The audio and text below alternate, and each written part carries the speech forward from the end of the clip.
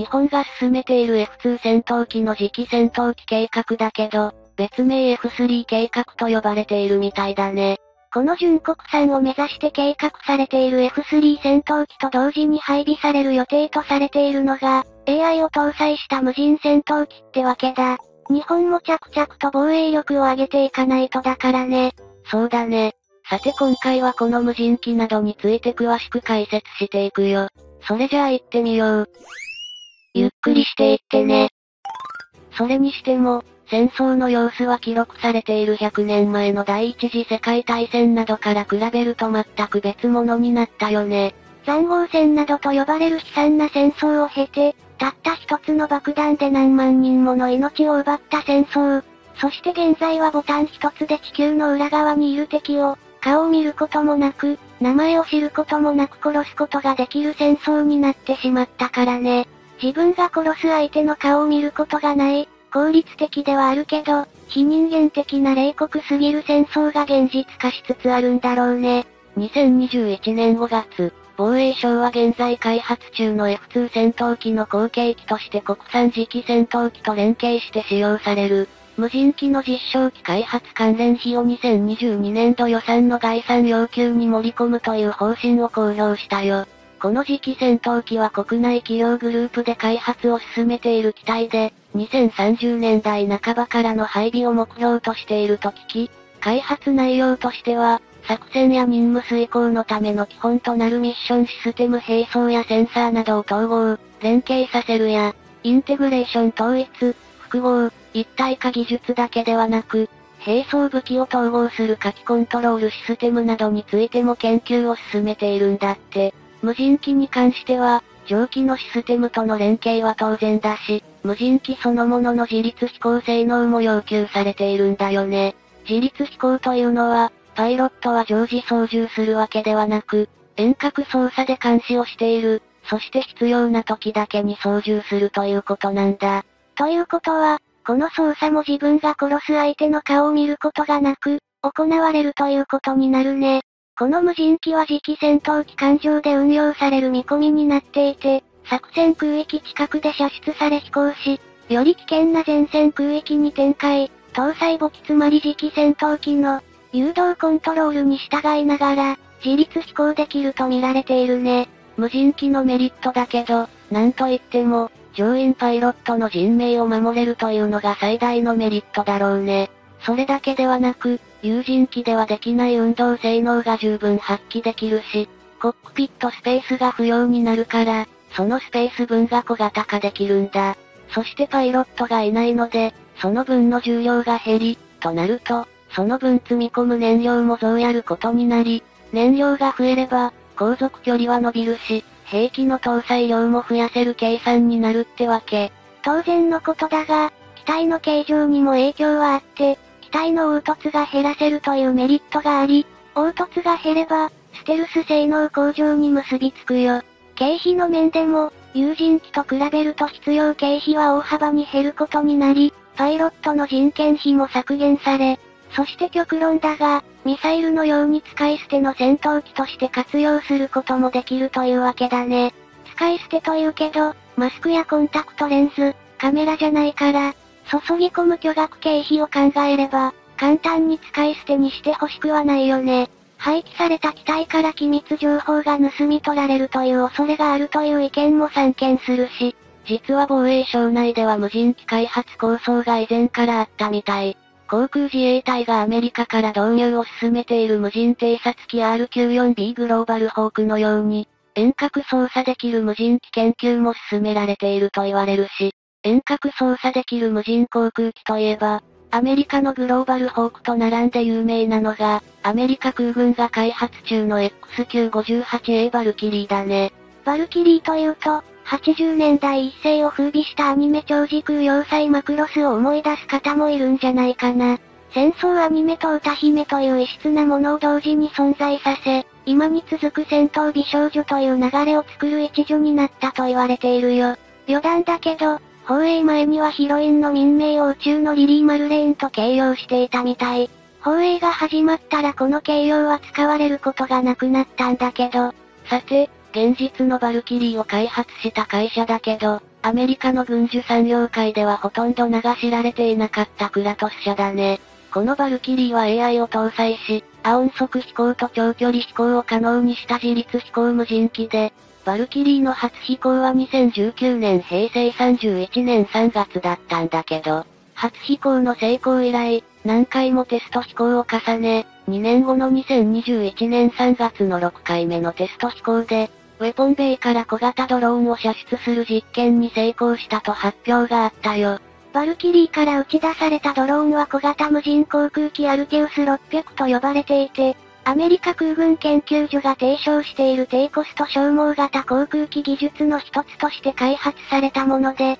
電子戦や信号傍受などを実行できる優秀な機体と言われているよ。アメリカ空軍は2019年に自立型無人システム実戦配備を目指してスカイボーグ計画を発表し、この計画の実現によって無人航空機軍を組織化し、低コストで運用、維持が可能になり、紛争地域ではスピーディな行動ができる。敵に決定的な打撃を与え、進行が阻止できることになると述べているよ。では日本を見てみると、防衛省は無人機の運用範囲について、偵察機、戦闘機などあらゆる機種を想定しているみたい。コンピュータが機体設計を行うデジタルモックアップ技術を活用する研究を進めていると言われているし、次期戦闘機に付随する小型無人機もその研究の成果ではないかと見られているんだ。防衛装備庁は2016年平成28年8月、将来の無人機装備に関する研究ビジョンなる論文を発表していて、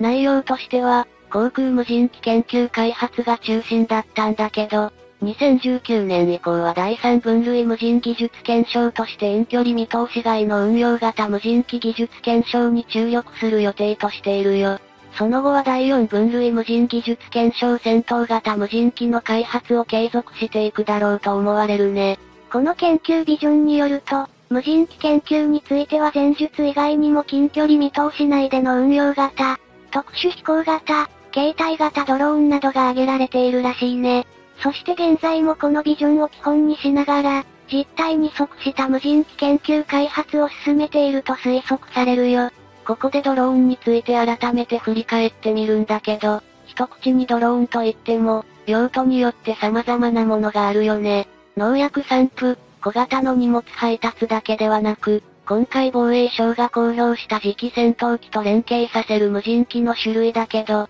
強引に表現してみると近距離見通し外運用型かつ携帯型無人機とも言うべきジャンルではないかと感じるよ。世界各国が無人戦闘機開発を進めている流れに乗り遅れないためだろうけど、日本の F15J 戦闘機の近代化改修計画が膠着状態になっているから、アメリカより早く開発成功の可能性がある第6世代次期戦闘機と連携を進めようとするのは、ごく自然なことじゃないかな？パイロットの疲労を防ぐことができる無人機戦闘機開発については、日本のみならず全ての国が注力していると言ってもオーバーではない現状だし、2021年2月、アメリカ国防高等研究計画局はロングショット開発計画なるものを発表していて、同時に国内3社に、空対空ミサイルを搭載して敵を攻撃するためのドローン設計も発注したみたい。このドローンは有人機から操作するから、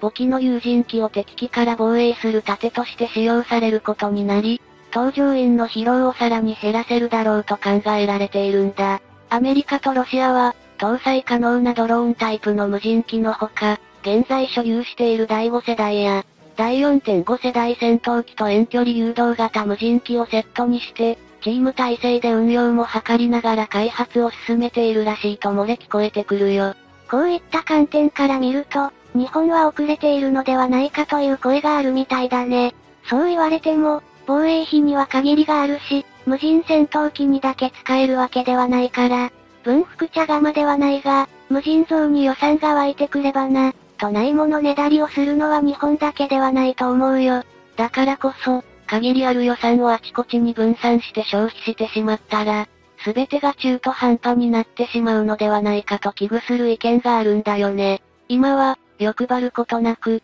次期戦闘機の実戦配備を急ぎつつ、連携させる無人機開発を、同時進行させるということに集中するべきではないかと思われるよ。それじゃあ今回はこの辺で、よかったら、チャンネル登録してね。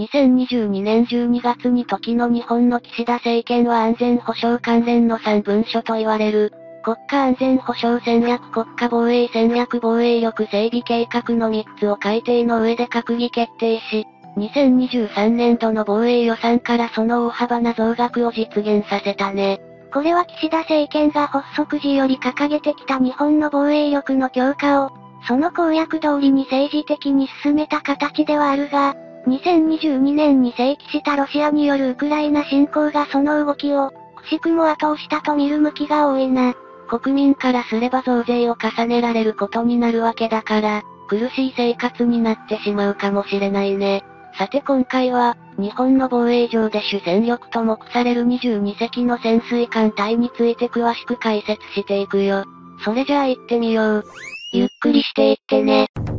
小安倍首相や前官首相の政権よりも与党自民党内における現岸田政権は、防衛予算の増額に関してそこまで強硬に推進することを、政治的に強く標榜していたわけでもなかったように思えるけど、世論の影響も少なくなかったと映るよね。今回の安全保障関連の3文書の改定と閣議決定では、日本の防衛力の増強の柱にはスタンドオフ能力を向上させることが謳われており、その分野の兵器開発と調達に防衛予算を投入することが大きく報じられているよ。スタンドオフ能力とは、敵の防空ミサイルの有効射程圏外から日本側が攻撃可能な兵装を装備することを指してており、国産の兵器としては一蓋式地対艦誘導弾の能力向上型や当初防衛用の高速滑空弾がその代表例とされているな。また一蓋式地対艦誘導弾の能力向上型が実戦配備可能となるまでのつなぎとしては、アメリカからトマホーク巡航ミサイルを調達して水上戦闘艦に搭載する方向が打ち出されており、遠距離からの対地対艦攻撃能力の獲得が施行されているぜ。いずれにせよ周囲を世界で6番目の面積を有する広い領海に囲まれた日本では、その防衛力の中核はやはり海上自衛隊の存在によるところが多く、2019年度以降の最後の中期防衛力整備計画で打ち出された体制の構築を急いでいるってわけだ。ここで示されている海上自衛隊の主戦力の体制は、護衛艦54隻、潜水艦22隻、哨戒艦12隻、作戦用航空機190機であり、それらの中でも潜水艦は日本の防衛における最も重要な戦力であると言ってよいだろうね。1945年8月にアメリカを中心とする連合国との太平洋戦争に敗戦を喫し、一時は潜水艦の保有を禁じられていた日本は、1954年に海上自衛隊の発足が行われたことで、再び潜水艦を保有運用する体制を取り戻したんだ。ただしこの時点では潜水艦の建造は太平洋戦争の敗戦によって禁じられていたことから、アメリカ海軍の通常動力型の攻撃型潜水艦である加藤級の民号貸与され、これを1955年から黒潮として運用、再開を果たしたぜ。この黒潮は海上自衛隊に貸与された後、現三菱重工業者の神戸造船所で環境等の改修工事を行い1966年まで収益。これと並行して川崎重工業者の神戸工場で1957年には戦後初の国産潜水艦である親潮が寄港されるよ。そして3年後の1960年にはこれに続く国産の早潮型2隻が寄港され、同艦はそれぞれ現三菱重工業者の神戸造船所と川崎重工業者の神戸工場で建造が行われ、今に続くこの両者による国産潜水艦の建造体制が構築されたんだ。今年2023年3月時点における海上自衛隊の潜水艦戦力は、古い方から親潮型が8隻、総流型が12隻、大芸型が2隻の22隻の実戦配備となっており、これとは別に2隻の親潮型が練習用の潜水艦として残されているね。海上自衛隊の潜水艦の数が現行の22隻体制となったのは2011年度の防衛計画の対抗からで、それまでは16隻体制であり、基本毎年1隻ずつの心臓艦を現三菱重工業者の神戸造船所と川崎重工業者の神戸工場が交互に収益させてきたってわけ。16隻体制から現行の22隻体制へと6隻の潜水艦の実戦配備数の増加が行われたことで、それまでは16年プラス練習艦としての数年で退役を迎えていた形が、22年プラス練習艦としての年数に引き上げられた状況だね。今の22年プラス練習艦としての年数という海上自衛隊の潜水艦の収益期間は、他国海軍の潜水艦が少なくとも30年以上は使用されていることが常であることからは贅沢な運用とも思えるが、それだけ海上自衛隊が潜水艦を重視していることの証でもあるな。また現三菱重工業者の神戸造船所と川崎重工業者の神戸工場が交互に2年で1隻を収益させる状態を維持していることで、そんな中で築かれてきた海上自衛隊の潜水艦22隻体制だけど、これを実現させたのは昨年2022年3月からであり、最新鋭の体芸型のネームシップであり一番簡たる体芸が収益したことで確立されたものなんだ。海上自衛隊の潜水艦として最新鋭である大芸型は、今年2023年3月に2番艦の白芸も収益を迎え、同級は最終的に何隻が建造されるのかは不明であるが、今年5月には6番艦の機構がすでに行われているよ。現状で最も旧式の親潮型が2023年時点で未だ8隻が実戦配備中であることを踏まえれば、その全てを代替するために大芸型は、少なくとも全10隻は建造されるのではないかと、推察されているね。大芸型は全長が84.0メートル、全幅が9.1メートル、深さが10.4メートル、基準排水量が3000トン、水中排水量が推定で4300トンと目されており、前級である総流型を踏襲し、若干排水量が大型化したと考えられているみたい。また体芸型はこちらも公表されていないため全てが推定値ではあるが、水中での最大出力は6000馬力で、最大速度は水上で13ノット、水中で18ノット以上と見られ、機関構成を同じくする総流型の最終の2隻とほぼ同等の性能だと推察されるぜ。海上自衛隊の潜水艦は現行の親潮型、総流型、体芸型ともにその先行深度はいずれも機密として明かされてはいないが、装備や建造に使用されて材質等の観点から、およその数値が推察されているからな。まずそうした中で最大値として推察されているのが、先行深度1000メートルとするもので、これはそういう方が船体に使用してる特殊鋼材 NS110 が物理的な計算上からはその数値まで頼ることが判明しているゆえだね。ついで先行振動900メートルと推察する見方もあり、これはそういう型が搭載する主兵装である89式超魚雷の性能が、水深900メートルに及ぶことからそれと同等ではないかという点から主張されている説だよ。ただこうした説はあくまでも特殊鋼材 NS110 の耐圧性能や、89式超魚雷の性能をもとに可能性として言及されているもので、潜水艦の本体自体はそこまで実際に到達しているとみなす見方は一般的ではないぜ。少し古い話で恐縮ではあるが、現在の日本の最大の仮想敵国である中国では2017年に総流型の先行振動通常で500メートル、最大で600メートルほどと予想する記事がインターネット上で確認されたな。中国側のこの記事によれば特殊鋼材 NS110 の耐圧性能の最大値は踏まえつつも、そういう型の潜水艦としての大きさや規模を踏まて現実的な推察を行ったと考えられ、個人的にはこれはいい線をついているように感じるぜ。しかしそういう型以降の日本の潜水艦が仮にこうした仮想敵国である中国側の見立て通りの先行振動を有してると仮定しても、対中国艦艇との対峙が予期される東シナ海は水深はおよそ200メートルほどと非常に浅いんだ。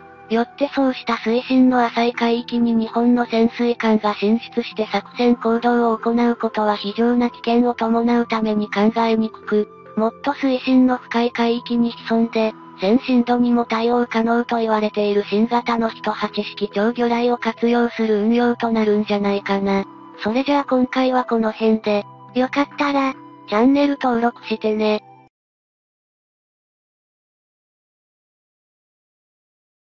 今年の護衛艦出雲加賀の改修工事に52億円がかけられ、F35B 戦闘機関西へ向けた空母化計画が進んでいることを、みんなは知っているよね。やっぱり現代において短距離離陸垂直着陸機のステルスは必要不可欠だよね。何にせよ、多額のお金をかけるんだからバッチリ仕上げてほしいよね。そうだね。さて今回はそんな護衛艦出雲加賀の改修工事について、詳しく解説していくよ。それじゃあ行ってみよう。ゆっくりしていってね。2022年末の安全保障関連3文書の改定と閣議決定を経て、2023年度の日本の防衛予算案は6兆8219億円となることが決定しており、この額は2022年度と比較すると約26%以上の増加額となっているよ。さらに2023年度から2027年度までの累計防衛予算額は、現時点でも約43兆円を超過すると予想されており、この金額をベースに各種防衛装備品を調達するとともに、その配分が図られていくんだって。その予算内で国産の人に意識地対艦誘導弾の能力向上型や当初防衛用の高速滑空弾、そしてアメリカからのトマホーク巡航ミサイルの導入など、長距離攻撃を可能とする調達兵器の是非がマスメディアなどでも取り沙汰されているよね。こうした長距離攻撃可能なミサイル類の性能を理由に、かつては敵基地攻撃能力と捉えられてしまい、専守防衛を掲げる自衛隊が保有してはならない攻撃的兵器だという認識が批判する側の意識の根底に根付いていたからな。そのような意識を日本国民から払拭させようという狙いから、政府はこれらの長距離ミサイルを、スタンドオフミサイルと言い換え、しかも反撃能力と呼称することで国民を納得させて政治的に乗り切ろうとしているよ。そんな中で反対派の大批判の渦中にいたのが、海上自衛隊が持つヘリコプター搭載護衛艦 DDH の出雲型2隻であり、航空母艦を彷彿とさせる全通甲板の光景は一番艦出雲の収益時から共産系メディアの攻撃の的となっていたんだ。出雲型護衛艦の収益は1番艦出雲が2015年3月、2番艦の加賀が2017年3月となっており、この当時は反対派からすると事実上の航空母艦であり、自衛隊が保有を禁じる攻撃的装備だという批判が絶えなかったってわけ。確かに出雲が収益を果たす前の2013年7月、共産系メディアが出雲型は、短距離離陸垂直着陸 STOVL を可能とするロッキード・マーティン社製の F35 ライトニング 2B 型の運用を視野に入れていると報じていたね。当時の防衛大臣だった小野寺氏は、この報道を受けてその内容を否定しており、今、思い返せば世論の反発を危惧して、できうる限り水面下で計画を進めようとしていたんだろうね。現状、出雲型護衛艦の空母化計画も2023年度の防衛予算案として決定を受けて、本年度分としては約52億円の回収費が組み込まれており、日本を取り巻く悪の枢軸国に対する安全保障対応は現実的な方向にシフトしていっていると言えるよ。出雲型護衛艦を航空母艦化することが公となったのは、2016年末に航空運用能力向上に関わる調査研究を募った以降であり、この委託業務は、出雲型護衛艦2隻の建造を担うジャパンマリンユナイテッド社が勝ち取ったね。その調査研究では従来、回転翼機の運用能力のみ付与されていた出雲型護衛艦に対して、無人航空機や F35 ライトニング 2B 型など固定翼機の運用が公に検討される運びとなっていたんだ。2017年末には防衛省が航空自衛隊の装備品として、従来の F35 ライトニング 2A 型だけでなく、B 型の取得も検討中であることが伝えられ、出雲型護衛艦の航空母艦化はこの辺りから具体的に進んでいったってわけ。そして、2018年末の防衛計画の対抗では、これから航空自衛隊が保有する戦闘機運用の柔軟性をさらに向上させるがごとく、必要に応じて既存艦艇から STOVL 機が運用できるように考えていることが国民にも明かされたね。同時期に防衛計画の対抗の内容をより具体的に記述した中期防衛力整備計画においては、STOVL 機を運用するための既存艦艇として考えられているのが出雲型護衛艦であると明記されたことにより、その方向性を決定したよ。2013年7月の共産系メディアによって、出雲型護衛艦の航空母艦化の可能性が報じられたことを振り返ると、実に5年以上の歳月を費やして徐々にその実現を図っていたことが浮き彫りとなり、何事にも段取り8部というのは大事だよね。2018年末の中期防衛力計画により、出雲型護衛艦の航空母艦化が明記されたと入っても、同艦は回収後も従来の任務を継続すると伝えられたため、対戦哨戒用の回転翼機を運用する欲張りな手法を取ることが明らかとなったんだ。また自衛隊が保有を禁じられていた攻撃的兵器の具体例にも変更がないことが強調され、一応その具体例とされる兵器は長距離爆撃機、大陸間弾道弾ミサイル、航空母艦であるが、出雲型護衛艦は攻撃型の航空母艦ではないという認識を政府は示したよ。この当時出雲型護衛艦は航空母艦化改修後も、区分的には攻撃型ではないから自衛隊が保有することは問題ないとする理論は、日本国内では政治的な解決策として意味を持つかもしれないけど、当然のように中国党はそれを見逃すことなく日本が攻撃的軍艦を持つと示唆したんだ。しかし、自衛隊の存在自体を軍隊ではないと規定している日本の体制を、諸外国が認めているか否かという根源的な問題にも発展するかもしれないけど、対外的にも日本のへりくつを真剣に受け入れる国家は皆無と言ってよいだろうね。日本の国内において、いつまでこのような政治的なレトリックが続くのかと理解できないが、ロシアのウクライナ侵攻を目の当たりにした2022年2月以降、日本国内でも反抗戦力を持つべきとする見方は確実に増えているはずだよ。その反抗戦力となり得る出雲型護衛艦の航空母艦回収において、1番艦の出雲が2020年度から、2番艦の香川2021年度から予算上も含めて、確実に着手されており、これは自衛隊で定められた洋艦の5年ごとの大規模な定期点検に合わせて実施されているよ。この航空母艦化改修は2度にわたって大規模点検に合わせて実施され、次は出雲が2024年度から始まり、2026年度内に完了するのに対して、香川2026年度から始まり2027年度に完了するとされているんだ。本来は1回目の航空母艦化改修工事で出雲から先にしようとしていた点として、外観上に見える大きな変更点である飛行甲板の拡幅と、それによる監視部分の形状変更は行われず、これは2回目に実施される予定だね。逆に香川現在進行形で実施中の1回目の改修工事において、この飛行甲板の拡幅とそれによる監視部分の形状変更がすでに完了しているため、2回目の改修工事は期間が短くなると見られているよ。現在の航空母艦化改修の日程から想定される実際の稼働としては、出雲が2027年度、加賀がそれに若干遅れる形だろうと見られ、現時点からは少なく見積もっても3年ほどの期間を要することになるだろうね。また、F35 ライトニング 2B 型を艦載機として運用可能とするためには、物理的な航空母艦化改修の完了だけでなく、なぜか各艦艇が個別にアメリカ本土のノーフォーク海軍基地に出向いて適合テストで認証を得なければならないんだよね。しかも出航準備と並行して航空自衛隊では F35 ライトニング 2B 型の調達を進めており、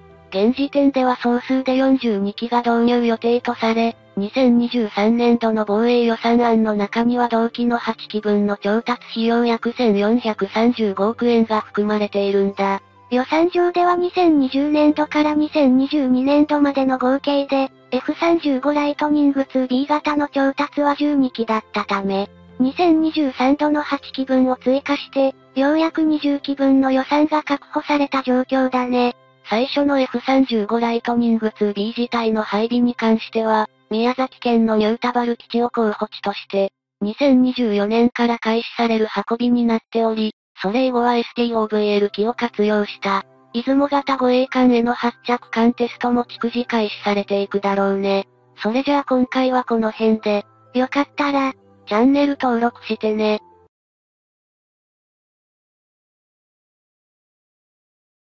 2022年12月に日本とイギリスとイタリアとの3カ国での共同開発が、正式なアナウンスを行った次期戦闘機の開発のついては、みんなももう知っているよね？GACP グローバルコンバットエアプログラムとの計画名も明かされ、本格的なフェーズへ入っているやつだな。3カ国の共同開発なんてワクワクする計画だから、期待しちゃうのも無理はないよね。さて今回はそんな3カ国共同開発計画の GACP について詳しく解説していくよ。それじゃあ行ってみよう。ゆっくりしていってね。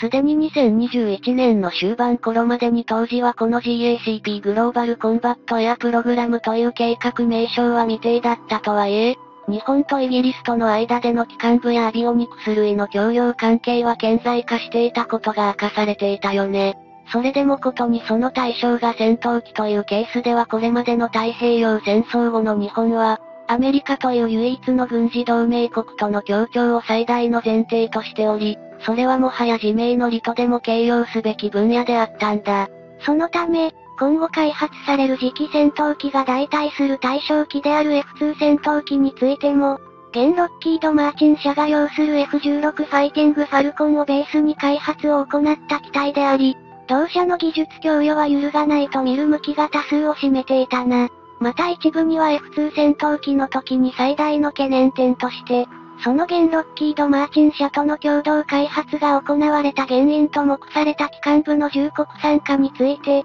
IHI 社製の試作機 XF91 が2018年に防衛装備庁への納入を果たしたことから、悲願の準国参加を支持する声も聞かれたぜ。しかし今や自国の技術のみで新型の戦闘機開発を遂行できるだけの基盤を確保することや、軽く超単位の開発費が想定される時代にあっては、個人的には日本が次期戦闘機開発を準国参加で成し遂げることには懐疑的な考えを持っていたんだ。そのため現行の F2 戦闘機でも共同開発を行い、また最新鋭のいわゆる第5世代戦闘機たる F35 ライトニング2も日本は総数でこれまで247機の調達を決定している状況からは、それを有するロッキード・マーチン社の主体的な参画は揺るがないと見ていたってわけ。しかしそうした推察は大きく外れ、日本は F2 戦闘機の代替機を GACP グローバルコンバットエアプログラムにて調達する方向に舵を切り、ロッキード・マーチン社はそれらに随伴する無人航空機等の分野への関与にとどまる方向と目されているね。ここ近年の航空自衛隊での採用された戦闘機の変遷を思い返してみても、F4 ファントム、F15 イーグルがアメリカ製の機体のライセンス生産、F2 戦闘機が共同開発、F35 ライトニング2が完成品の購入及び国内での最終組み立てとアメリカ依存の傾向は揺るぎなかったよな。ことにいわゆる第5世代戦闘機として西側諸国での市場を事実上独占しているロッキード・マーチン社は、アメリカ空軍専用の F22 ラクター、アメリカの同盟国やそれに類する国々に F35 ライトニング2を供給してその地位を盤石のものとしている感もあったぜ。アメリカ空軍の次世代戦闘機開発計画として NGAD ニュージェネレーションエアドミナンスも本格始動することが打ち出されているけど、ここでの開発主体もやはりロッキード・マーチン社が優位性を発揮すると思われるよ。ちなみに日本、イギリス、イタリアによる GACP グローバルコンバットエアプログラムも、アメリカ空軍による NGAD ニュージェネレーションエアドミナンスも、計画名からも伺えるように戦闘機単体での開発は施行していないぜ。その計画の中に有人戦闘機の機体開発という内容は含まれて入るものの、合わせてそれらが完成し随伴をさせる無人航空機を含めた航空システムの構築を目的としており、有人戦闘機はツールの一つという形に位置づけられているからな。そのためロッキード・マーチン社も、GACP グローバルコンバットエアプログラムにおける、無人航空機の分野に対する関与は継続する方針であるとみなされており、今後の続報が待たれることは言うまでもないと思うぜ。さて日本イギリスイタリアによる GACP グローバルコンバットエアプログラムだが、公式な進捗についての情報は、2022年末の共同開発の各国政府間の公表以来、かなり少ないことは否定できないんだよね。一時期は GACP グローバルコンバットエアプログラムにおける、日本、イギリス、イタリアの3カ国の開発費用の安分比率が、2に1になるとの観測も、イギリスのロイターなどで報じられたこともあったけどイタリアによってすぐに否定されたんだ。また GACP グローバルコンバットエアプログラム開発の主体を担う拠点をイギリスのロンドンに置き、専用のベンチャー企業を通じて開発自体を行うとの報道も見受けられたが、その後の追加情報もあまり見当たらないな。そんな中でこの202年6月13日に GACP グローバルコンバットエアプログラムに向けた機関部開発についての情報を、イギリスで同プロジェクトの主管を担う BAE システムズ社がわずか30秒強の映像であるが YouTube などに公開したよ。今回の情報によれば BAE システムズ社は、機関部以外にも搭乗者の緊急脱出装置や、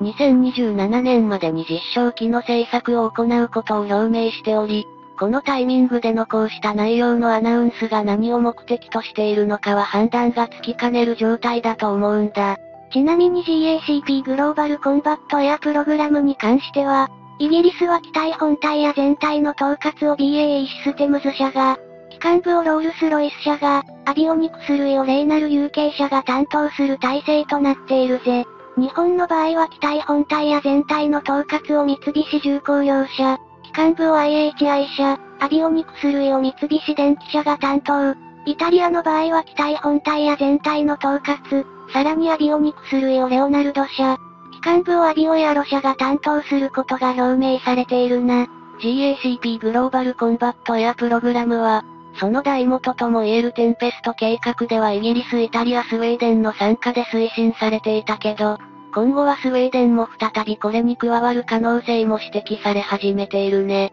元々のテンペスト計画と同様に GACP グローバルコンバットエアプログラムも、いわゆる次世代戦闘機本体の開発も包括していることから、それはいわゆる第6世代戦闘機の開発を目指すプロジェクトであるとの認識も多かったみたい。しかし日本の次世代戦闘機開発に対する技術供与からかなりあっさりとロッキード・マーチン社が身を引いた理由の一つには、それらはアメリカ側が施行するいわゆる第6世代戦闘機の資質を備えていないと判断されたためとも言われているぜ。こうしたいわゆる大丸世代という区分そのものが、実際に生産された機体の特性を鑑みて後付けで分類する性格のものであることは事実で、そもそも第6世代機の要件はさらに高度な機体自体のステルス性、随伴無人航空機の完成、高度なネットワーク化などが指摘されて入るな。しかしこれらの要件自体もいわゆる第5世代機の F35 ライトニング2でも、